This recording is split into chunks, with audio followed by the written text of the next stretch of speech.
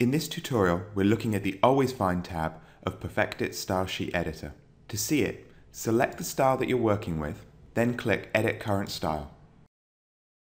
The Always Find tab is the one that's open at the start. In the Always Find tab, each line represents a single change that PerfectIt will always look for and suggest a replacement. There are four columns in the tab, Test Name, Find, Preferred, and Style Notes. If you click on an item, you'll see that PerfectIt's interface guides how you work. For example, clicking the line for acknowledgement with and without the E. Looking at the top, you'll see the interface says, when PerfectIt is running the test for spelling variations, it should warn if it finds the phrase acknowledgement with the E. If it finds the phrase, it should suggest acknowledgement without the E. To start adding our own terms, Let's look for an example in hyphenation. First, select the hyphenation test that you want. Use the test called hyphenation of phrases if the alternative is open. Use the test for hyphenation of words if the alternative to hyphenation is closed. Here we'll choose hyphenation of words. We're going to add a new item, so let's quickly delete these entries. And then let's add the term cooperation. We have it look for cooperation with the hyphen and if it finds that, it should suggest the phrase cooperation without the hyphen. Then let's choose to add that. The same exact principle works for PerfectIt's two tests of en dashes, looking at en dashes compared to hyphens and en dashes compared to space.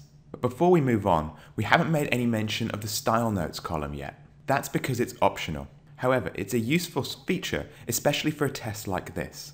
The style notes give a prompt to the user so it's a good place to put important exceptions that you want users to look out for or consider in context.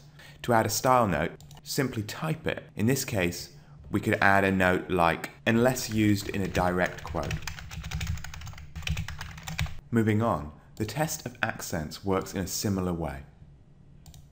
Let's say we always prefer cafe with the accent at the end. So going through, we instruct PerfectIt to look for cafe without the accent and then to add it with. However, PerfectIt won't accept the keyboard combinations that you use in Word to insert an accent. So you need to either go back to your document and copy and paste an accent, or you can skip across to the Wildcards tab. We're going to look at the Wildcards tab in a future tutorial. For now though, let's just take an acute accent figure and copy that so that we can paste it in here. Then we add that in the same way we did for hyphens. The test of phrases in capitals is also similar, however there's no search term required.